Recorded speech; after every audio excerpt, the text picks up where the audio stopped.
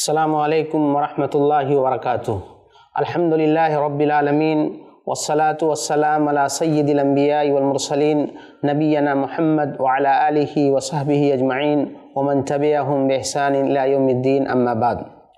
ناظرین کرام، گفتگو مہدی علیہ الصلاۃ و تسلیم سے متعلق چل رہی تھی۔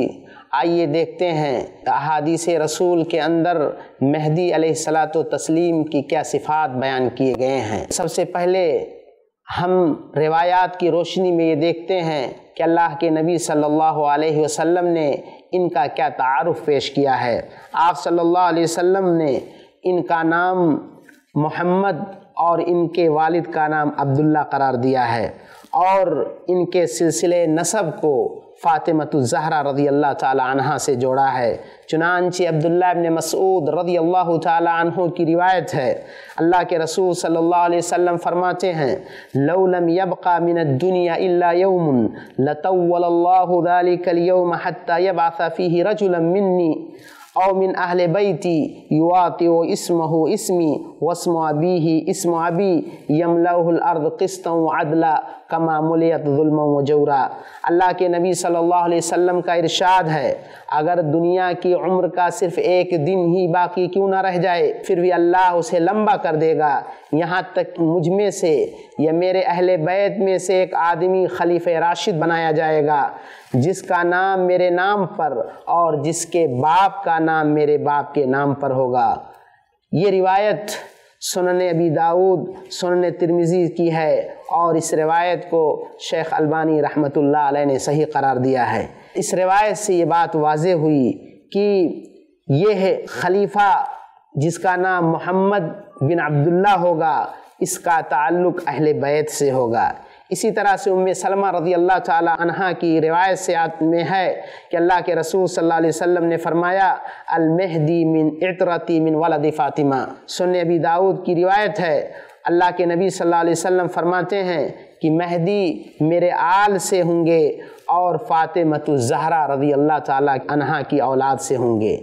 اب یہاں سوال پیدا ہوتا ہے کہ فاطمۃ الزہرا رضی اللہ تعالی عنہ کے دو بچے تھے، حسن اور حسین، ان میں سے کس سے ان کا تعلق ہوگا؟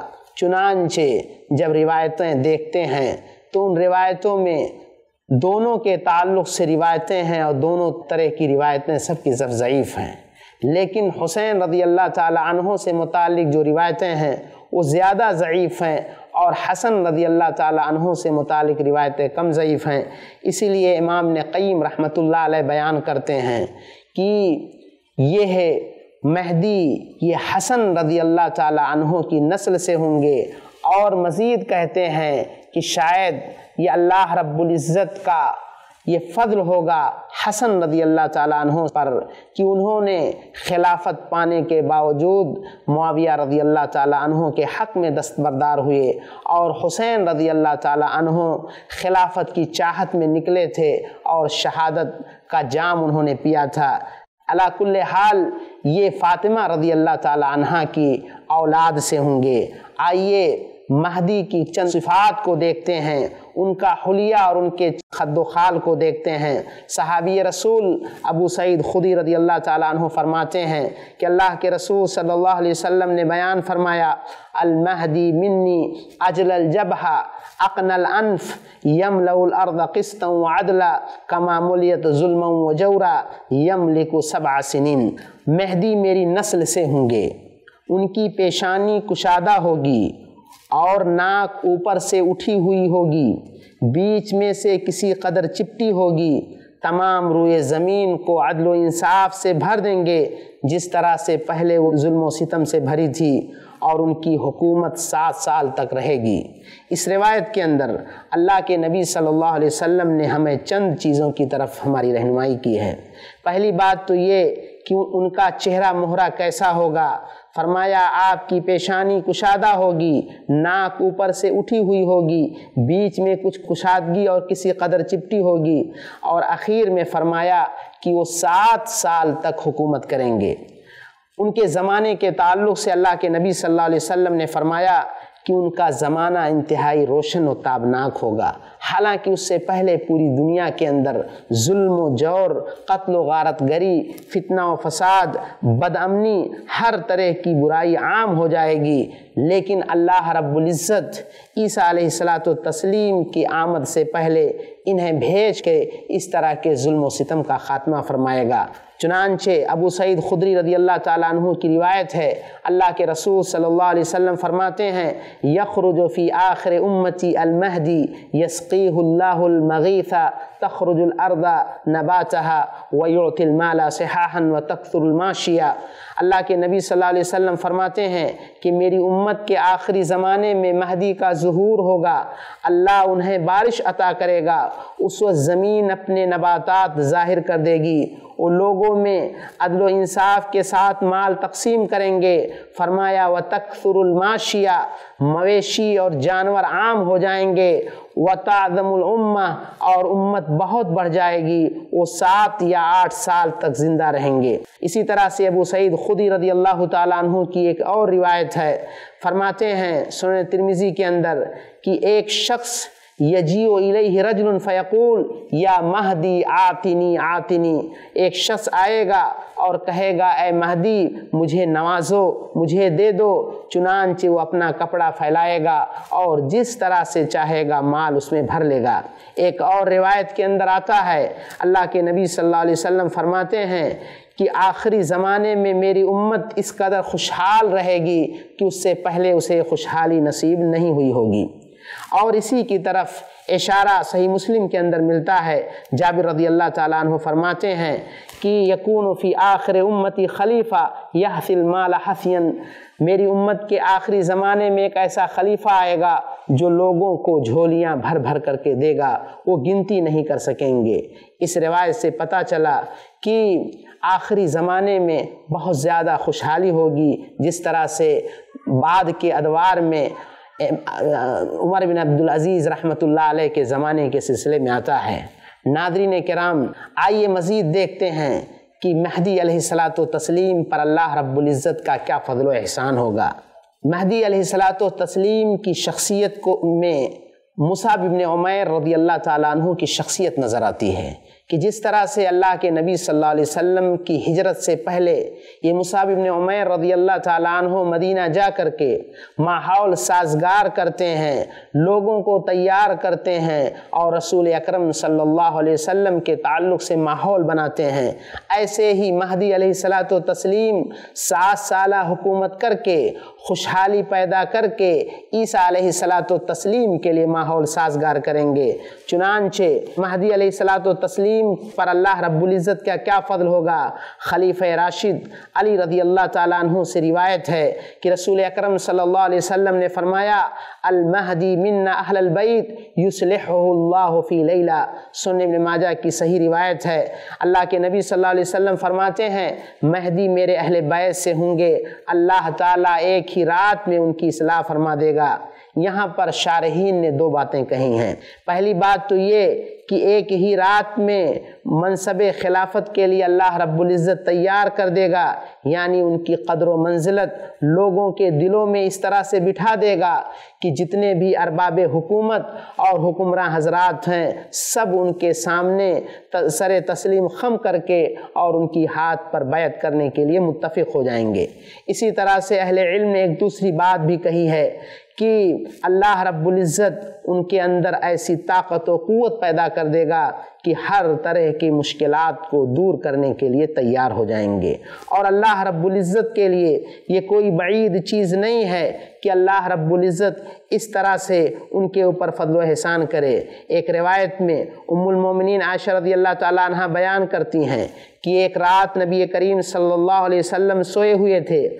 آپ نے اپنے جسم اطہر پر خلاف معمول حرکت کی۔ جب آپ بیدار ہوئے تو عائشہ رضی اللہ تعالیٰ عنہ کہتی ہیں، میں نے عرض کیا کہ اللہ کے رسول صلی اللہ علیہ وسلم آج آپ نیند کے عالم میں اپنے جسم پر ایسی حرکت کر رہے تھے جو اس سے پہلے میں نے نہیں دیکھا۔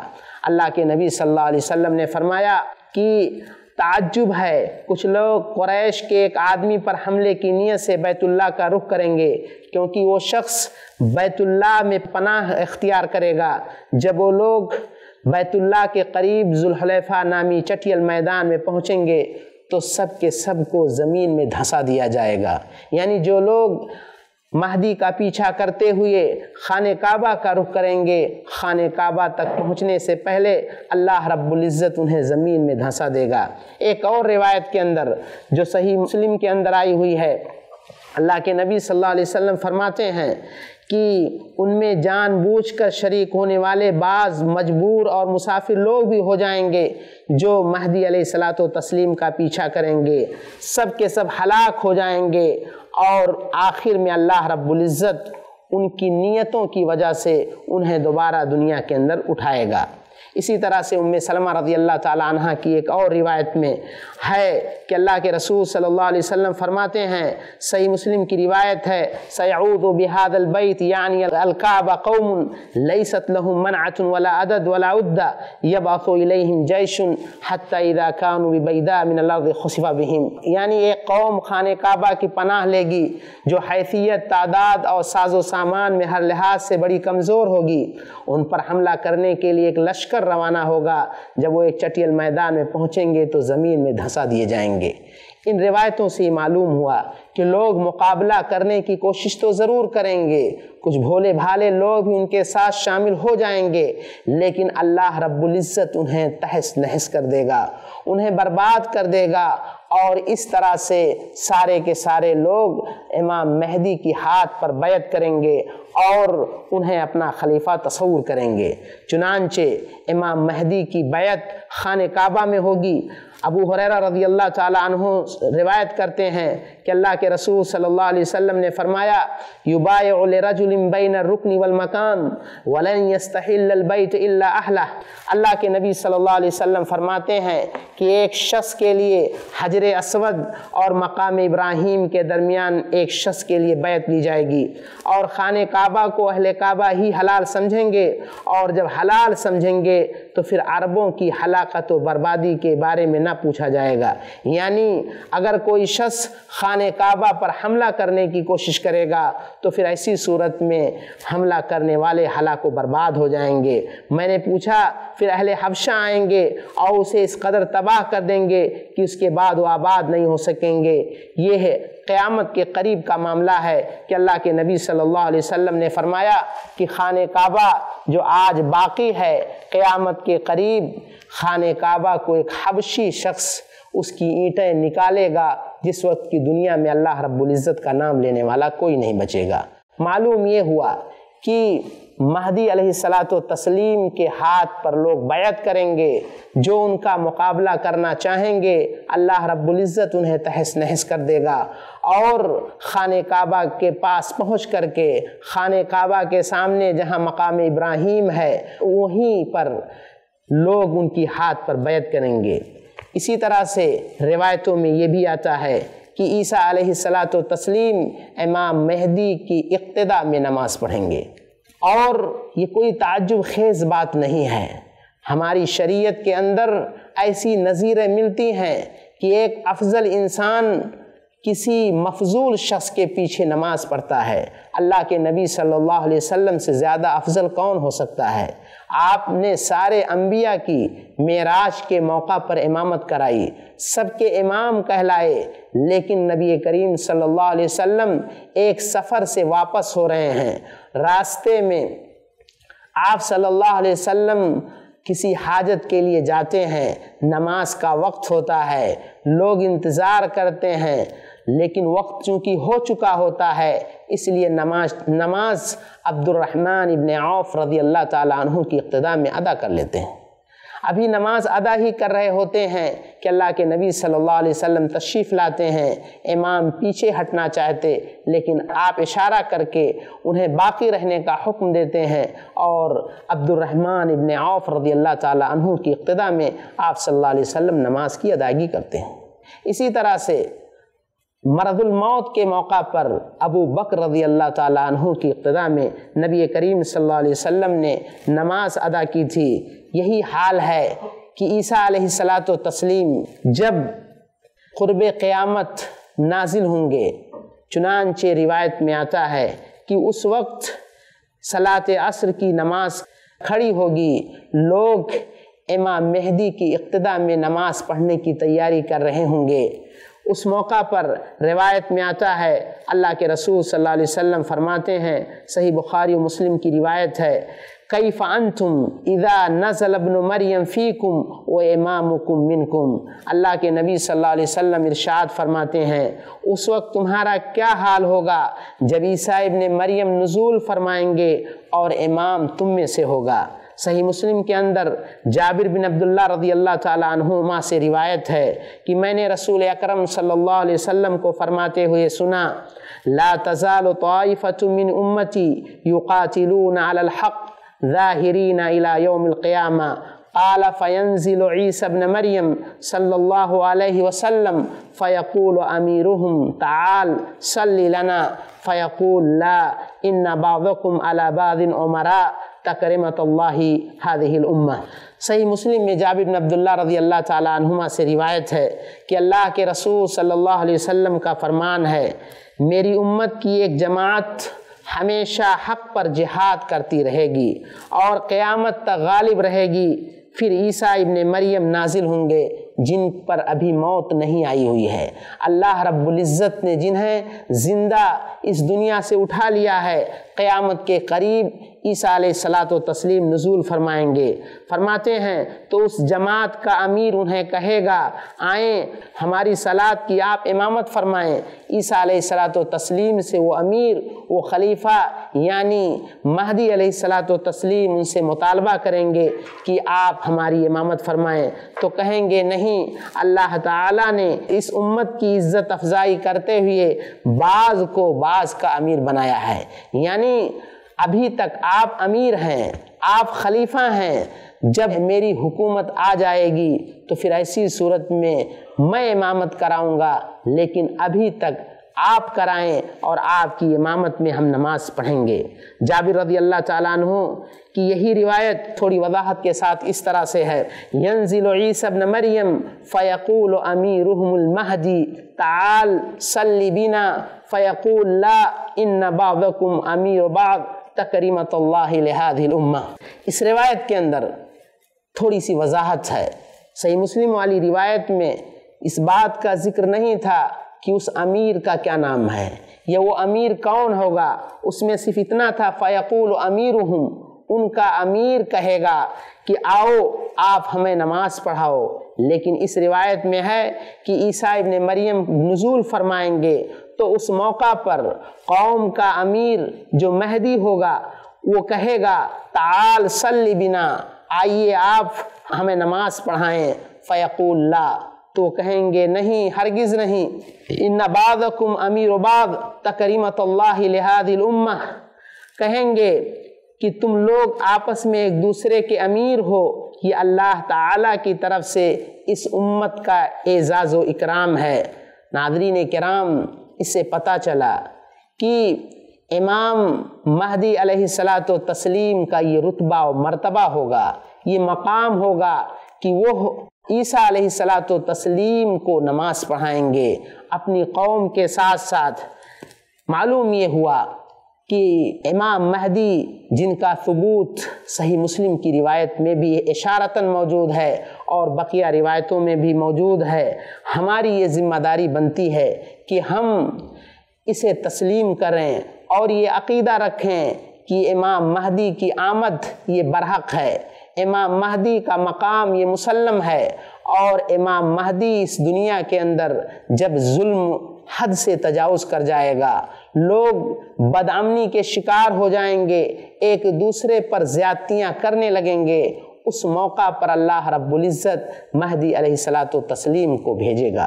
اور یہ مہدی اہل بیت سے ہوں گے اور اس طرح سے وہ لوگوں سے ظلم کا خاتمہ کریں گے، زیادتی کا خاتمہ کریں گے، ہر طرف امن و شانتی کو پھیلائیں گے۔ ناظرین کرام، یہ مہدی علیہ السلاۃ و تسلیم تھے، جن کے بارے میں آپ نے تفصیل سے گفتگو سنی اور یہ واضح ہوا کہ یہ مہدی ان کا تعلق اہل بیت سے ہوگا۔ اور یہ فاطمت الزہرا رضی اللہ تعالی عنہ کی اولاد سے ہوں گے۔ ان کے آنے کے بعد اللہ رب العزت ہر طرح سے ظلم و ستم کو ختم کر دے گا۔ ان کی شان یہ ہوگی کہ ان کا نام محمد ہوگا، ان کے والد کا نام عبداللہ ہوگا۔ اب اگر کوئی شخص یہ دعویٰ کرتا ہے کہ میں مہدی ہوں، تو پہلے اسے یہ سمجھنا چاہیے کہ نام تو اپنا بدل سکتا ہے، لیکن اپنے باپ کا نام کیسے بدل سکتا؟ اس کے جھوٹا ہونے کے لیے اس کے نام اور اس کے والد کا نام جان لینا کافی ہے۔ دوسری بات یہ ہے کہ مہدی جو شخص ہوگا، اس کا اہل بیت سے ہونا ضروری ہے۔ اس لیے کوئی بھی، کہیں کا بھی اگر یہ دعویٰ کرتا ہے کہ میں مہدی ہوں، تو ایسی صورت میں خاندانی نسبت کے غلط ہونے کی وجہ سے اس شخص کا دعویٰ جھوٹا ہو جائے گا۔ تیسری چیز ہمیں یہ جاننا ہے کہ مہدی یہ صرف دعوے کا نام نہیں، یہ کارنامے کا نام ہے۔ مہدی کی خصوصیت ہوگی کہ اللہ رب العزت ان کے ہاتھ پر، ان کی شخصیت پر سارے لوگوں کو متفق کر دے گا۔ اور متفق ہی نہیں کرے گا، جو شخص ان کے خلاف آواز اٹھائے گا ان پر حملہ کرنے کی کوشش کرے گا، اللہ رب العزت انہیں تہس نہس کر دے گا۔ اسی طرح سے مہدی کے بارے میں ہمیں یہ بھی جاننا ہے کہ لوگ ان کی ہاتھ پر جب بیعت کریں گے تو یہ دنیا کی کوئی اور جگہ نہیں ہوگی۔ یہ دنیا کی سب سے افضل ترین خانہ کعبہ کے سامنے رکن یمانی جہاں حجر اسود ہے اور اسی طرح سے مقام ابراہیم جو خانہ کعبہ کے دروازے کے پاس ہے۔ ابراہیم علیہ السلاۃ و تسلیم کے پاؤں کے نشانات جہاں ہیں وہاں پر ان کے ہاتھوں پر بیعت ہوگی۔ اسی طرح سے ہمیں مہدی کے سلسلے میں یہ بھی جاننا ضروری ہے کہ اللہ کے نبی صلی اللہ علیہ وسلم نے ان کے صفات بیان کیے ہیں کہ مہدی کی پیشانی، مہدی کا چہرہ، مہدی کی شکل و صورت کس طرح سے ہوگی؟ اللہ کے نبی صلی اللہ علیہ وسلم نے ہمیں یہ بتلایا ہے کہ ان کی پیشانی کشادہ ہوگی، ان کی ناک اوپر سے اٹھی ہوگی، بیچ میں سے کسی قدر چپٹی ہوگی۔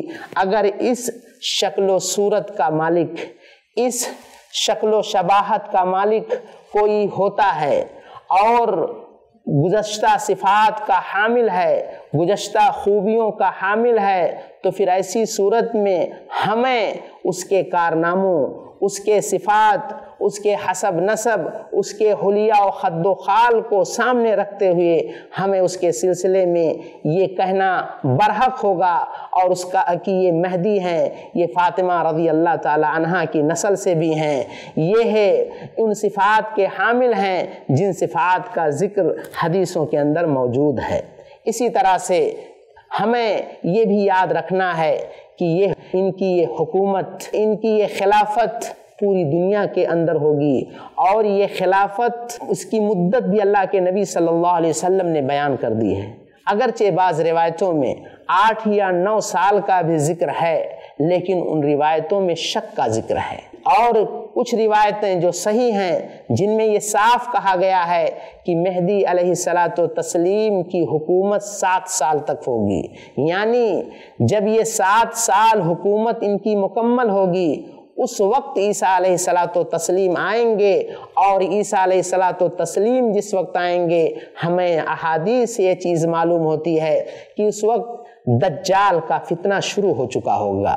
دجال دنیا کے اندر فتنہ و فساد بپا کرنا شروع کر دے گا۔ عیسیٰ علیہ السلاۃ و تسلیم اس کے فتنے کے خاتمے کے لیے، اس کے دجل کو مٹانے کے لیے اور اس کی شرنگیزی کو دنیا سے ختم کرنے کے لیے آئیں گے۔ لہذا مہدی علیہ السلاۃ و تسلیم کے تعلق سے ہمیں یہ بات جاننی ہے کہ مہدی علیہ السلاۃ و تسلیم کی حکومت آ کر کے رہے گی، جیسا کہ اللہ کے رسول صلی اللہ علیہ وسلم نے روایت میں بیان کیا کہ اگر دنیا کا ایک دن بھی باقی رہا تو اللہ رب العزت اس کو اس قدر طویل کر دے گا، اس قدر اسے بڑھا دے گا کہ اس کو بڑھانے کی صورت میں مہدی علیہ السلاۃ و تسلیم کی آمد ہو جائے گی۔ ناظرین کرام مہدی علیہ السلاۃ و تسلیم کے تعلق سے ہمیں یہی عقیدہ رکھنا چاہیے۔ اور معاشرے میں جو گمراہیاں ہیں، جو غلط فہمیاں ہیں، جو طرح طرح کے وعدے اور دعوے ہیں ان تمام طرح کے وعدوں اور دعووں اور شبہات کو ذہن سے نکال کر کے احادیث رسول کی روشنی میں جو باتیں بیان کی ہیں، انہیں تسلیم کرنا چاہیے۔ اللہ رب العزت سے دعا ہے کہ اللہ العالمین تو ہمیں اہل بیت کے حقوق کو سمجھنے کی توفیق عطا فرما۔ الہ العالمین تو ہمیں توفیق دے کہ ہم اہل بیت کے مقام و مرتبے کو سمجھیں، صحابہ کرام کے مقام و مرتبے کو سمجھیں اور ان کے مطابق عمل کریں، ان کا دفاع کریں۔ ناظرین کرام، وقت ختم ہوا۔ وآخر دعوانا ان الحمد للہ رب العالمین۔ والسلام علیکم ورحمۃ اللہ وبرکاتہ۔